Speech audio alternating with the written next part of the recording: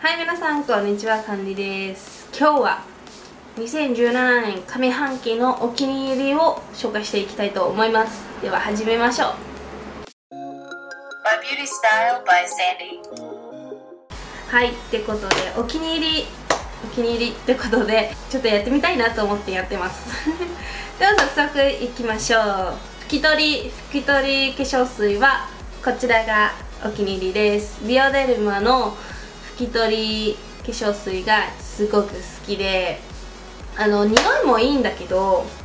本当に綺麗に取ってくれるのですごく好きでした。今現在はもう手元にないんですけどもすごくお気に入りでまたリピしたいなと思っています。あともう一個、えーと、新しく出て、えーと、イオンモールとかだと,、えー、と500円で買えるんですけどもこちらの化粧水。化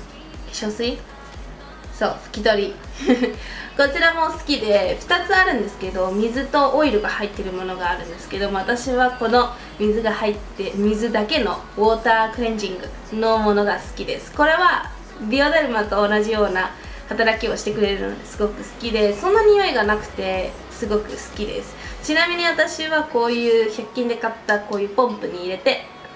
取って使っています。はい。で洗顔。洗顔なんですけどもえっ、ー、と無印の保湿洗顔が大好きです。えっ、ー、とこれはね結構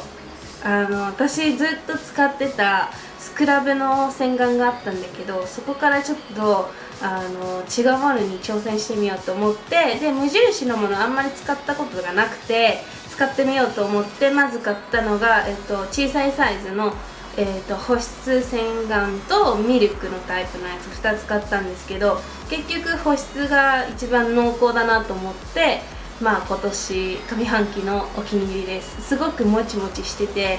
あの洗い流した感じも全然突っ張らなくて突っ張らないのは多分あの泡作るやつあれダイソーで買ったんですけどあれもお気に入りなんですけどもあれで泡立てて濃厚な泡を使って洗顔してるんですけどそれがすごく良くて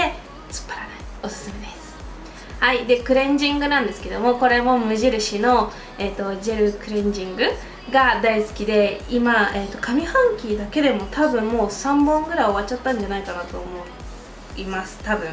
3本ぐらいだと思う。もうそれくらいずっと使っててもうほんと毎日使っています。普通にあの化粧してない日でも使ってます。ほこりとかあったりするかそれも取れるかなと思って 使ってます。えっ、ー、とまあジェルなのでちょうど肌とジェル。なんかこう厚さを使ってくれるのでこう肌の負担があまりないかなってそんな感じがしてすごく好きです。あとマスカラがすごく綺麗に取れる。すっごいいいいいです。あの濃厚でジェルだからね。すごいいいです。他のジェルもあるんだけどなんだかんだそれが一番好きかなと思い去年使ってで今年また使い始めているんですけど、えっと、イプサのえっと、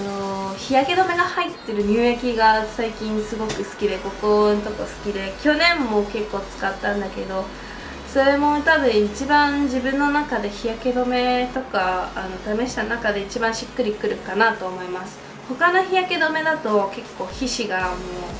う倍に出ちゃうぐらいだったんですけどイプサに関してはそんなに出ないかなっていう感じなのでイプサの日焼け止め乳液そう日焼け止めが入ってる乳液がおすすめ。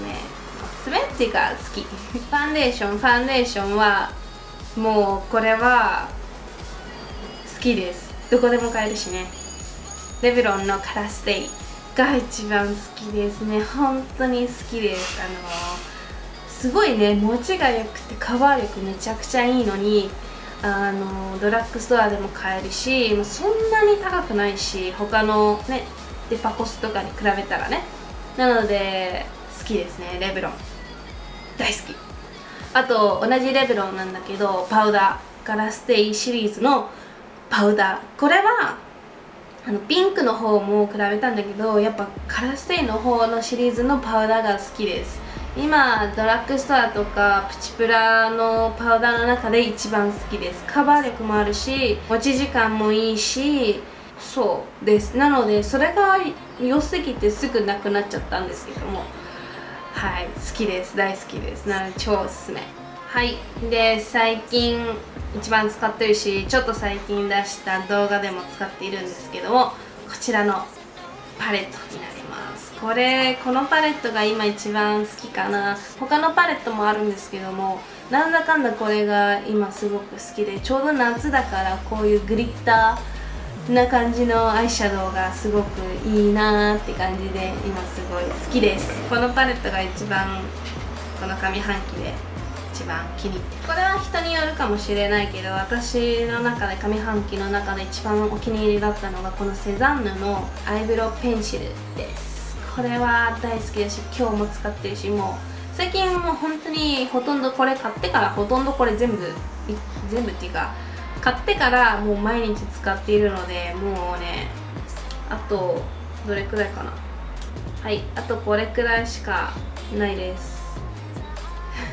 本当にもうずっと毎日使ってて。で私が好きなのはこのねこの部分が取り外しができることです。なのでちゃんと洗ってまた使えば綺麗に使えるしずっと使っていくとこっちにもうついちゃってあ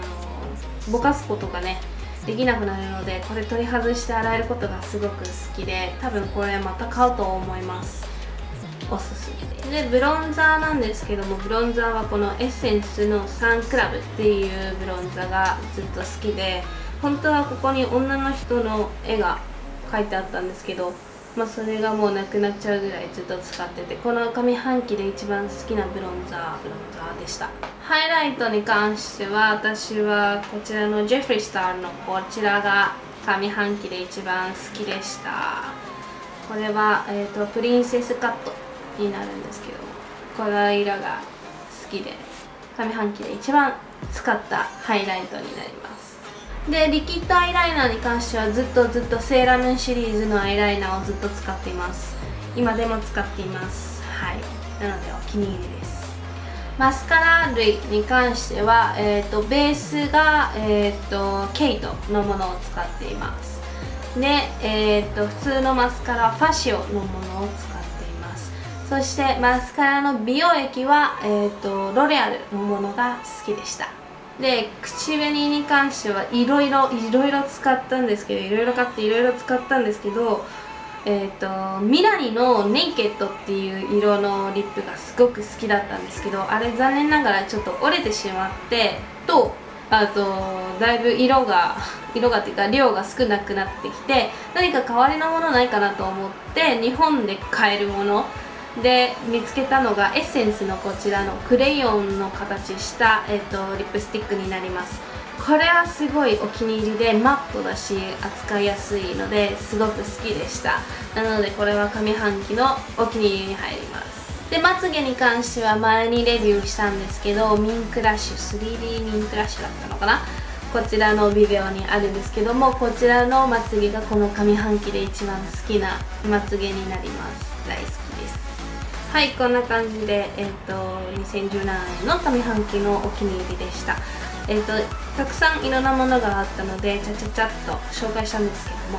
こんな感じで、えーと、私のお気に入りです。もしかしたら忘れてる商品があるかもしれないけどまたあのー、また違う機会で 紹介していきたいと思います、まあ、そんな感じで、えー、と私の2017年上半期のお気に入りでした。またね。